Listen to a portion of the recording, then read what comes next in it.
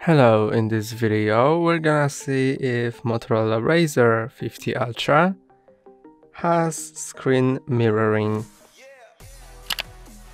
Let's see if it supports screen mirroring. Slide down from the top of your screen, then slide down again and find screencast.